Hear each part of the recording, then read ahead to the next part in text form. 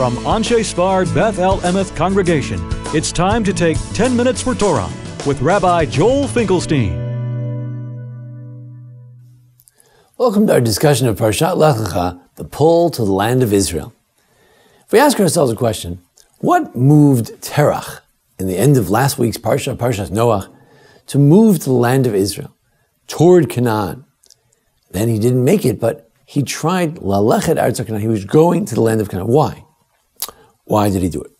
Ramban Nachmanides suggests that he had this, uh, this spiritual sense on his own that he should go to the land of Israel. He stopped in Haran. Alas, he never made it. And it's Avraham who then hears the call in Haran to continue his father's journey. The Ibn Ezra thinks that God called to Avraham in their original location in Ur Kasdim, and that Terach simply slept along, he simply came along with Avraham. Why would Terach, if it was his idea, why would he want to go to Israel? Ramban suggests that Terach was maybe escaping that king, King Nimrod, according to Midrash. They were being persecuted by him for Avraham's beliefs, so he left for that reason. Similarly, there's a Midrash that simply praised Terach for choosing the land of Israel even before it was commanded. He intuited, like Abraham kept the commandments because he intuited them, Terach intuited the holiness, the draw, the pull of the land of Israel. The Tzror Hamor, a Spanish and Portuguese exile, says that Terach was stirred in his heart to go to the land of Canaan. Rabbi Soloveitchik writes about the idea that it's our job to sort of find that quest, find that spiritual sixth sense that tells us where to go. Rav Yoel Bin Nun, an innovative Tanakh teacher in the land of Israel, says that perhaps Terach was a merchant, a merchant interested in commerce. He thought maybe the land of Israel would be a good place, a crossroads between Egypt and Mesopotamia. Or because his wife was barren, Abraham's wife was barren, as it says in last week's Parsha, she was Akara. Therefore, you know, a change of scenery would be good, so he left. The others, Nahor, did not leave because he had children. He didn't have that problem, that challenge. Rabbi Yaakov Meidan, my Rebbe in Yeshivat Har Etzion in Israel, says, look, let's look at the context. What was the previous story before this week's parsha? Well, basically, aside from genealogy, it was the Tower of Babel. And at the end of the Tower of Babel, God spread them out. The, the Haamek Davar, Rashbam, they say that it was God's desire that people spread out through the land, and it was this call to scatter through the land that caused Terach to leave Mesopotamia, leave Babel, and go further. Terach was driven by the universal impulse to fill the earth, as God said, it says in Genesis 1, should fill the land and conquer it. So then we can suggest that there are actually two layers behind Abraham's move to Israel, not only Terach. On the one hand, he's fulfilling the divine command, what's particular to the Jewish people, to Abrahamic people, to move to the land of Israel because it's going to be his land.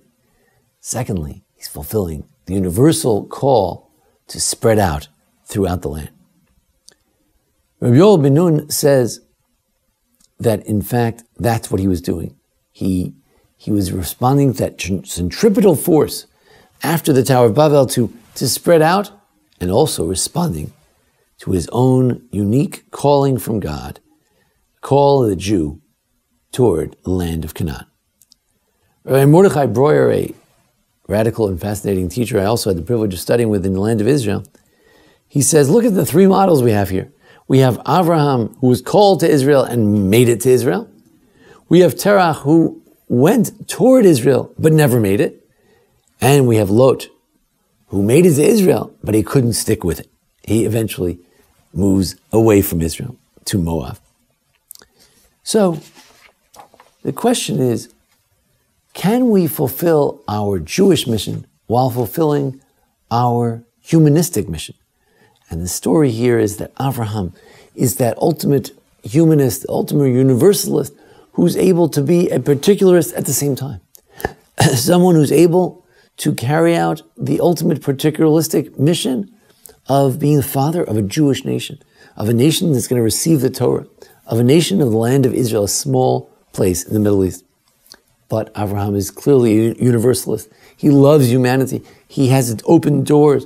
And he's able at the same time that he moves to Israel, moving away from Babylonia, away from society and civilization, really. He also moves toward his destiny and toward the international, universal call to spread out in the land. He, he, he shows that we can be citizens of the world, fulfilling the various trends of, of the times, at the same time that we're fulfilling our very unique, particularistic call to answer the call of Torah, Sinai, and Judaism. Avram showed that there needn't be a contradiction between our particularistic calling and our universalistic calling, our parental calling and our own. He fulfilled his father's desire and his desire at the same time. We don't have to say, well, should I be like my father or should I be like myself? We can find a way where the two weld together. I'm doing what I want to do, which is also what my father wanted to do, what my father in heaven wants to do. Let's be, let's be like Abraham. Let's be universalistic and particularistic at the same time. Let's be like Abraham to get the job done. Let's not be like Terach who never makes it. Let's not be like, like Lot who makes it but can't stick with it. Let's be like Abraham who makes it, sticks with it, and stays with it. This is the dual call, the dual pull of the land of Israel. It's a land of the Jews. It's a land that ultimately all of humanity will be called to the Jews just heard that calling a little bit before others. Thanks for joining us here at the Anshe Sfarad Beth El congregation here in Memphis, Tennessee. Join us each week for our discussion of the Parsha and the holidays. And thanks to Jason Lefkowitz, our producer. Thank you. This has been 10 Minutes for Torah with Rabbi Joel Finkelstein. To learn more, visit asb.org.